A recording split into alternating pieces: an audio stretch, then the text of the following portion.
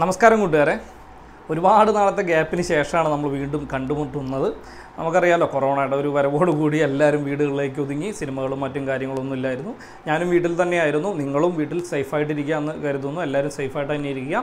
വീട്ടിലിരുന്ന സമയത്ത് ഒരുപാട് സിനിമകൾ കണ്ടു. ഭാഷ പോലും അറിയാത്ത സബ് ടൈറ്റിൽ വെച്ചുകൊണ്ട് ഒരുപാട് സിനിമകൾ കണ്ടിരുന്നു.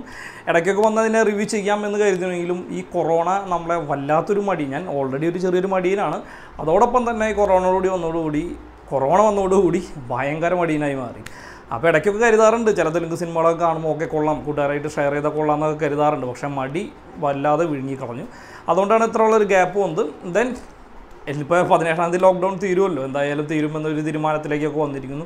ഇനിയിപ്പോൾ മടി ഇത് വെച്ചിട്ട് കാര്യമൊന്നുമില്ല പുറത്തോട്ട് ഇറങ്ങണം. സോ അതിനൊരു മുന്നോടിയായിട്ടാണ് ചെറിയ റിവ്യൂസൊക്കെ ആയിട്ട് നിങ്ങളുടെ മുമ്പിലേക്ക് വരാമെന്ന് കരുതിയത്. ഇപ്പോൾ ഒരു തമിഴ് സിനിമ ഒരു ചെറിയ സിനിമ. ധാരാളപ്രഭു എന്ന് പറയുന്ന ഒരു സിനിമയാണ്. അതിന്റെ ഒരു വിശേഷങ്ങൾ നിങ്ങളായിട്ട് പങ്കുവയ്ക്കാനായിട്ട് വന്നത് വന്നതാണ്. കൃഷ്ണ മാരിമുത്തുമാണ് സിനിമ സംവിധാനം ചെയ്തിരിക്കുന്നത്.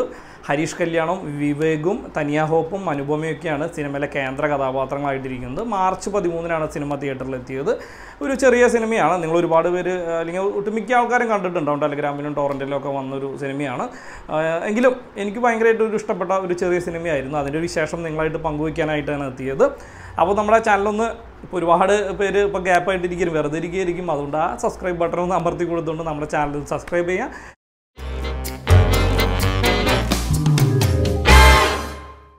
നാമാരുത്വമാണ് ധാരാളപ്രഭു നമ്മുടെ മുമ്പിലേക്ക് എത്തിക്കുന്നത്. ഹിന്ദിയിലെ വിക്കി ഡോണർ എന്ന് പറയുന്ന ഒരു സിനിമയുടെ ഒരു റീമേക്ക് ആണെന്ന് പറയാം നമുക്ക് വേണമെങ്കിൽ. നമ്മുടെ ഇപ്പോഴത്തെ സെൻസേഷൻ സ്റ്റാറായ ആയുഷ്മാൻ ഖുരാനയുടെ വിക്കി ഡോണറിന്റെ ഒരു തമിഴ് പതിപ്പാണ് ധാരാളപ്രഭു എന്ന് പറയുന്ന സിനിമ. ഇതിൽ പ്രഭുവാണ് കേന്ദ്ര കഥാപാത്രം. അദ്ദേഹം ഒരു എന്താ പറയുക ഒരു ഫുട്ബോളർ അദ്ദേഹത്തിന് ആ ഫുട്ബോൾ കളിക്കുന്നതിടെ കൂടുതൽ ഈ ഫുട്ബോളിലൂടെ എങ്ങനെയെങ്കിലും ഒരു സർക്കാർ ജോലി എടുക്കണം ലൈഫ് സെറ്റിലാക്കണം എന്ന ആഗ്രഹത്തിലൂടെ മുന്നോട്ട് പോകുന്ന പ്രഭുവിന്റെ ജീവിതത്തിലേക്ക് കണ്ണദാസൻ എന്ന് പറയുന്ന ഒരു ഡോക്ടർ കടന്നു വരികയാണ്. അത് ഫെർട്ടിലിറ്റി ക്ലിനിക്കും മറ്റു കാര്യങ്ങൾ നടന്ന ഡോക്ടർ പിന്നീട് അദ്ദേഹത്തിന്റെ ജീവിതത്തിൽ നടക്കുന്ന സംഭവവാസങ്ങൾ വളരെ രസകരമായിട്ടും മനസ്സിൽ നമ്മളെ ടച്ച് ചെയ്യുന്ന രീതിയിലും വളരെ നല്ല രീതിയിൽ പറഞ്ഞു പോവുകയാണ് സിനിമ.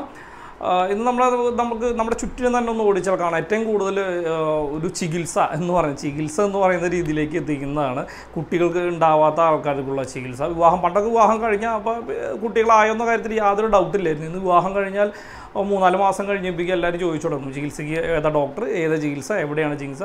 ആ രീതിയിലുള്ള ആശുപത്രികൾ ഒരുപാട് നമ്മുടെ നാട്ടിലും പൊട്ടിമുളച്ചിട്ടുണ്ട്. അപ്പോൾ ആ രീതിയിലുള്ള കാര്യങ്ങളിലൂടെയാണ് സിനിമ പോകുന്നത്. ആ ക്ലിനിക്കിലൊരു സ്പെം ഡോണറാണ് നമ്മുടെ പ്രഭു എന്ന് പറയുന്ന നായകൻ. മനസ്സില്ലാ മനസ്സോടെയാണ് പുള്ളി അതിലേക്ക് എത്തിപ്പെടുന്നത്. അപ്പോൾ അങ്ങനെയൊക്കെ രസകരമായിട്ട് രീതിയിലുള്ള കുറേ കാര്യങ്ങൾ. ഇതിപ്പോൾ കഥകളും നമുക്കറിയാലോ. ഇത് ഉന്നം വയ്ക്കുന്നത് യങ്സ്റ്റേഴ്സിനെയാണ് പക്ഷേ യങ്സ്റ്റേഴ്സിനേക്കാൾ കൂടുതൽ ഈ പറഞ്ഞ സാധനം ഞാൻ നമുക്ക് എന്താ പറയുക ഫാമിലിയുടെ കൂടി ഇരുന്ന് കണ്ടാൽ പോലും ഒട്ടും വൾഗറാവാത്ത രീതിയിൽ ഈ പറഞ്ഞ സ്പേം ഡൊണേഷൻ എന്ന ആ തീമിനെ വെച്ചുകൊണ്ട് ഒട്ടും വൾഗറാവാത്ത രീതിയിൽ നമുക്ക് ഫാമിലിയോടൊപ്പം ഇരുന്ന് ധൈര്യമായിട്ട് കാണാവുന്ന രീതിയിലാണ് സിനിമ കൃഷ്ണൻ മാരിമൂത്ത് ഒരുക്കിയിരിക്കുന്നത് അദ്ദേഹത്തിന്റെ ആദ്യ സിനിമയാണ്. ഇത്ര നീറ്റായിട്ട് ഒരു ഫാമിലി ഓഡിയൻസിന് യങ്സ്റ്റേഴ്സിനോടൊപ്പം തന്നെ ഫാമിലി ഓഡിയൻസിന് കാണാവുന്ന രീതിയിലേക്ക് മാറ്റിയെടുത്ത കൃഷ്ണമാരിമുത്തുവിന് അദ്ദേഹത്തിന്റെ ആദ്യത്തെ സിനിമയാണ്. അതുകൊണ്ട് തന്നെ മികച്ചൊരു പ്രതീക്ഷയാണ് അദ്ദേഹം നമുക്ക് സി സിനിമയിലൂടെ നൽകുന്നത്. സിനിമയിൽ പ്രഭുവായിട്ട് എത്തുന്നത് ഹരീഷ് കല്യാണാണ്. അദ്ദേഹത്തിന്റെ ഇസ്പിഡ് രാജാവും യുദ്ധയ റാണിയും അതിലൊരു ഞെട്ടിക്കുന്ന അല്ലെങ്കിൽ പൊട്ടിത്തെറിക്കുന്ന ഒരു യങ്സ്റ്ററിന് ശേഷം ഈ സിനിമയിൽ വളരെ ക്യൂട്ടായിട്ട് പലതരത്തിലുള്ള എന്താ പറയുക നിഷ്കളങ്കതയുണ്ട്. അദ്ദേഹത്തിന് നിസ്സഹായതയുണ്ട്. എല്ലാ രീതിയിലുള്ള കാര്യങ്ങളും വളരെ നല്ല രീതിയിൽ ചെയ്ത് മുന്നോട്ട് പോകാൻ ഹരീഷ് കല്യാൺ സാധിച്ചിട്ടുണ്ട്. അതുപോലെ വിവേക് അദ്ദേഹം അദ്ദേഹം അദ്ദേഹവും വളരെ നല്ല രീതിയിലൊരു കഥാപാത്രം ഈ സിനിമയ്ക്ക് കിട്ടി. മീശയും മുറുക്ക് അല്ലെങ്കിൽ വെള്ളൈപ്പൂക്കൾ തുടങ്ങിയ സിനിമയിലെ പോലെ തന്നെ നല്ലൊരു കഥാപാത്രമാണ് അദ്ദേഹത്തിന് കിട്ടിയത്.